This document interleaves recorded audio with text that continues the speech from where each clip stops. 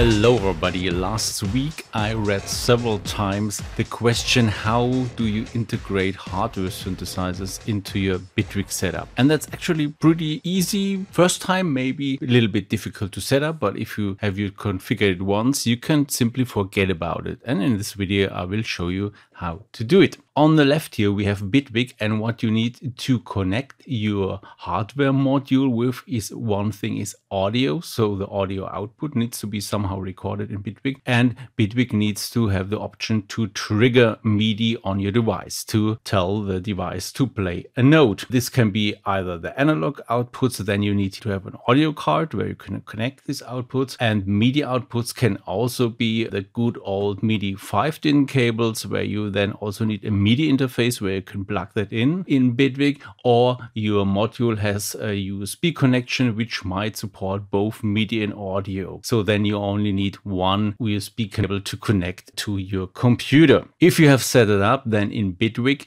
you simply create a track. I have here the track for my Hydrasynth and then you can add to the track a hardware instrument and for the output you need to select now the MIDI output which is here connected via USB so I also get the name here, Hydrasynth Deluxe, where I send the MIDI to. You need to make sure that the MIDI channel is the correct one for your device. So here it's simply one. And then for the return channel, you need to select the audio inputs where you connected your device. And this also requires a setup. So in the audio setup of Bitwig, here are the input buses and you need to add here a stereo bus or a mono bus, depending if it's only maybe a mono analog synth. And then you need here is a hydro Hydrasynth Deluxe to select the correct inputs.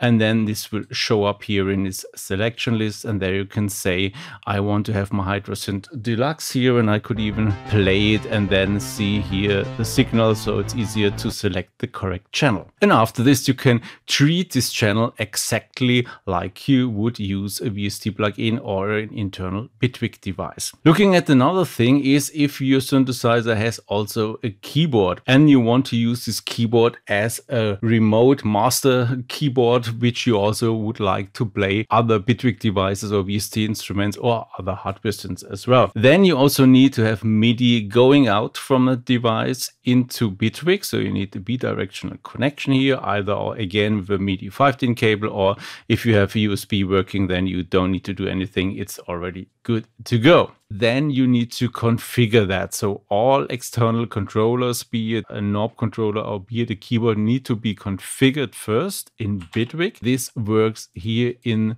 the settings in the controller section. And if you only want to have a dumb keyboard, you can simply add the generic script. So if you just go to controllers generic, and then you can simply say you want to have this stupid MIDI keyboard here, which just supports notes and the pitch bend but that's totally sufficient if you just need a keyboard. And with that, you can then select this here for the input. Normally all inputs are selected, but you could also just select here now our new Hydrasynth input, which we configured here. I forgot to show that. So where is Hydrasynth? So here is uh, the Hydrasynth configured. Simply we select the input and output here as well. I have my generic flexi script here, but if you would need a simple one, the one I showed, you only need to configure one output. This is totally sufficient to have it working that way. And then one thing to note is that you should set up this keyboard to local off. What does it mean and how do you do that? You will notice if I now go to Polysynth track. So there is a Polysynth Bitwig device. And if I play now that, you will see I get twice the input. I get the input from the Polysynth and I get the input from the Hydrasynth, but I only want to play the Polysynth. On your Hydrasynth here, on a Hydrasynth, for example, I can go here in the setup section, go some pages down. There you see this setting, a local is set to on. And if I switch it off, it means that the keyboard is no longer triggering the internal sound generator. So it only sends out the MIDI data to Bitwig. And Bitwig then, if you have selected the track with our hardware instrument, will then send back the MIDI here to the audio engine and the audio engine will play. If we are in Bitwig on the Polysynth track, it will now only play the Polysynth and only if I have selected the Hydrasynth track, it will play the Hydrasynth. So, and for example, if you want to play an arpeggiator like in that sound we have here, you want to make sure that it's synchronized to the tempo here in, in Bitwig. To make sure that this works, you need to go here in the settings and for that device you need to enable here the MIDI clock settings. You could also enable them here in a hardware device. You could also say here enable MIDI clock. I prefer the global one because then you don't can simply forget about it, but make sure you do not enable both because then you will get double the tempo, which normally is not what you like to have. And also playback needs to be active, so so you can also adjust that. And so let's just check it out. Let's like let's record something. Turn on the metronome. So back to zero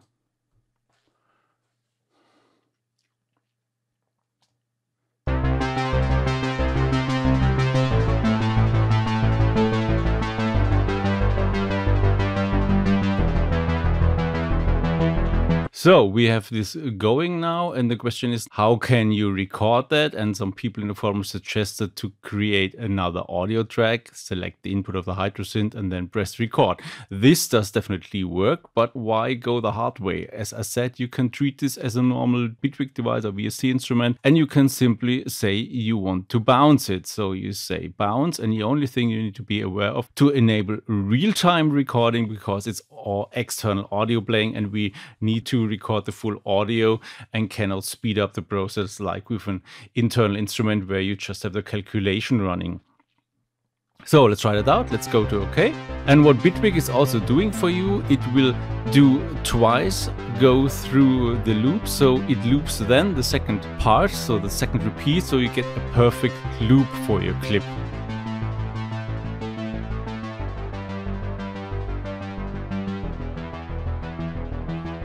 So what you then can do, you can, for example, copy the name, which is sadly not done automatically by Bitwig, which I think is a bit of a shame. And if you don't need the MIDI one, you can deactivate that track and then you have, you know, your normal playback going as well. So pretty easy to set up. And what you should also do if you have created such a hardware instrument track, just add this to your default template you use in Bitwig. So every time you start Bitwig, you have your full studio environment correctly set up. So for example, you see all my hardware synthesizers are connected like this exactly with hardware instruments or also the modular setup with a modular instrument, which is also working nicely. So you are always ready to go and don't need to think about anything. And that's really the great feature of Bitwig. And I hope you get this going. If not, if you have any issues, please write it down in the comments or also if it worked for you. I like to hear from you. And until next time, make some funky music.